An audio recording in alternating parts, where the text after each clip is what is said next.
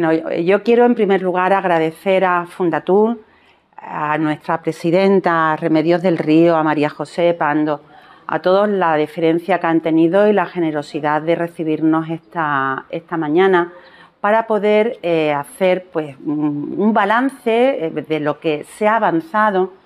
en materia de inclusión, en materia de discapacidad. Fundatul es una ONG dentro del, tercer sector de referencia no solo en la provincia de Málaga, sino en toda Andalucía. El tiempo que ellos llevan trabajando, eh, todo lo que han hecho en favor de estas personas con discapacidad está ahí, es una realidad. Entonces, para nosotros, para el Partido Popular, para nuestro presidente, el tener la opinión, como se ha buscado anteriormente, de un colectivo de esta naturaleza es importantísimo. Se ha trabajado mucho con todos estos colectivos, de ahí que el programa recoja pues una serie de propuestas eh, que la hemos estado comentando y desde luego es un fiel reflejo de lo que aún queda por hacer, porque se ha hecho mucho. Es verdad que a pesar de que estos tres años y medio de legislatura ha coincidido con una pandemia que ha colapsado, que ha paralizado, que ha bloqueado todos los recursos de una, de una administración, a pesar de ello, se ha seguido trabajando en inclusión.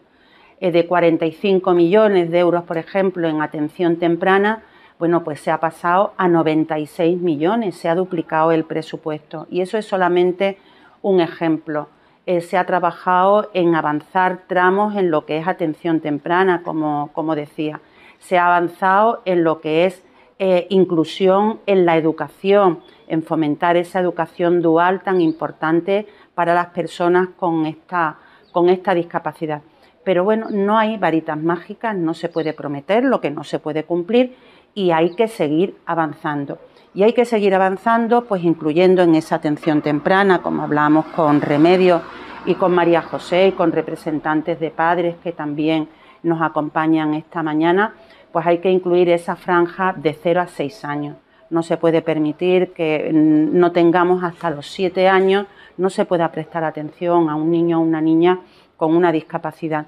Otra reivindicación donde todos los colectivos eh, trasladaron a Juanma Moreno, al presidente, y se incluye en el programa para la próxima legislatura, está el que eh, las personas que tengan cualquier problema del espectro autista, del síndrome de Asperger, que hasta ahora mismo no están incluidas ni consideradas personas con discapacidad, bueno, pues se incluyan.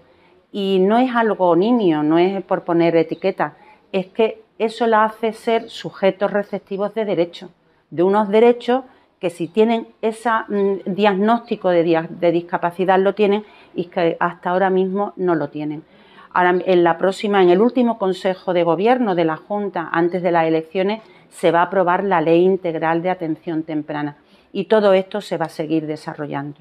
Yo no quiero alargarme más, eh, yo de verdad que estoy muy agradecida y venir a Fundatur siempre es un, es un placer porque hay que poner, no hay que poner en valor porque ya todo el mundo lo conoce, sino seguir poniendo en valor y seguir apoyando el trabajo que ellos, que ellos hacen. Así que Remedios, muchísimas gracias, María José, muchísimas gracias por recibirnos y decir que bueno, que seguiremos trabajando, que es un compromiso y que como candidata que estoy en la lista que acompaño a Juanma Moreno como representante de, la Costa del Sol, de todo lo que es el sector Costa del Sol y sobre todo Marbella, que para eso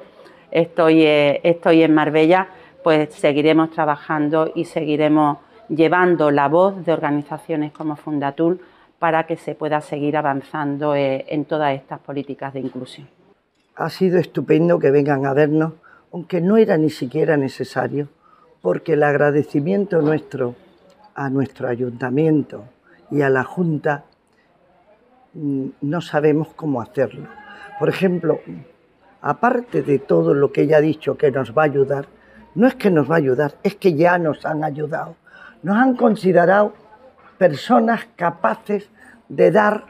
una alegría de vida a personas que tienen disminuciones, pero que se pueden perfectamente preparar para un trabajo. Y luego, cuando hemos querido recolectar dinero, por ejemplo, no teníamos casi subvenciones, el ayuntamiento de Marbella nos ha dado una subvención a nosotros y a otros muchos colectivos. Luego, y además, cuando hemos querido salir fuera, y ya hemos salir fuera, irnos a Málaga, por ejemplo, hacer cosas para nuestros niños, para nuestros usuarios en Málaga, porque yo llamo niños hasta los de 50 años, pero en fin, eh, nos han dado alguna ayuda tan increíble como por ejemplo en la última gala que se ha hecho a beneficio de Fundatul en el Hotel Miramar, el ayuntamiento nos ha facilitado un autobús para transportar a todos aquellos de toda la zona de Marbella, empezando en San Pedro y terminando en Las Chapas, para que pudieran ir y estar en ella. Eh, ha sido algo tan especial, tan maravilloso, que un autobús que empezaba haciendo tres paradas, una en el Boulevard de San Pedro, otra en el Palacio de Congresos y la tercera en el Viria, hemos tenido más de 40 personas que han ido en ese autobús, que sin él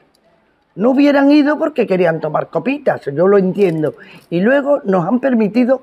un retorno dos veces. Los que estaban cansados a la una y media y los que querían seguir la juerga a las tres y media. ¿Qué os puedo decir?